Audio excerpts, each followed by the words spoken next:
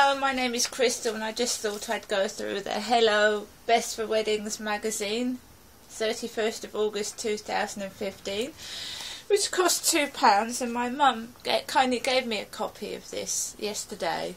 It's got Ronan Keating marries Storm Ukrit. I don't know if I've just pronounced that right, but never mind.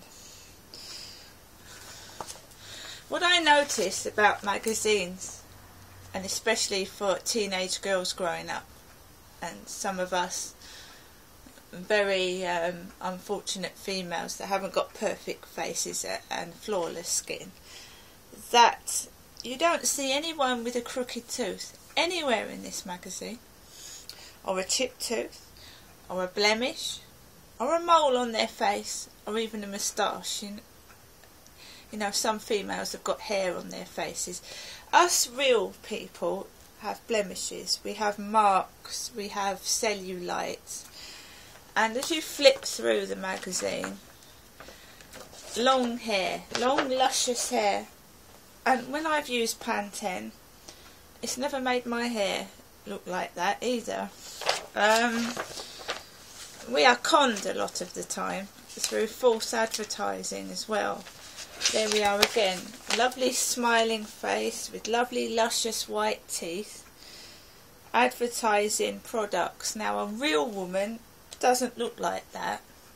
A real woman that buys products from the supermarket is maybe slightly overweight. She's got cellulite. Her hair is not as long as that. It's not lusciously locked. Her teeth haven't been um, what can we say? Whitened, um, had a makeover, because when you reach 46 plus, over the years, your teeth chip through sweets, jawbreakers, um, they stain through tea bags. We are not being given a real image to give to children and teenagers as they grow up. And girls feel very, very um, inferior to the models in these magazines, but we shouldn't. This is not real. Um, famous people. My uh, my wedding was a registry office. I didn't have a beautiful white dress.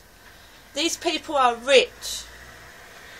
Um, the common person on the street is not rich.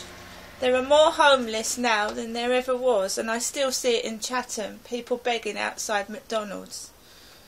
And these people, they're so rich, they have six or seven cars, loads of houses, and there are people living in substandard accommodation that people forget about and nobody cares about.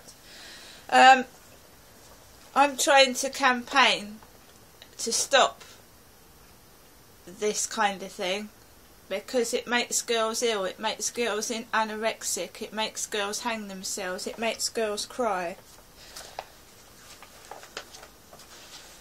I want to see women going out in the street unafraid to walk down the high street because we're given images like this.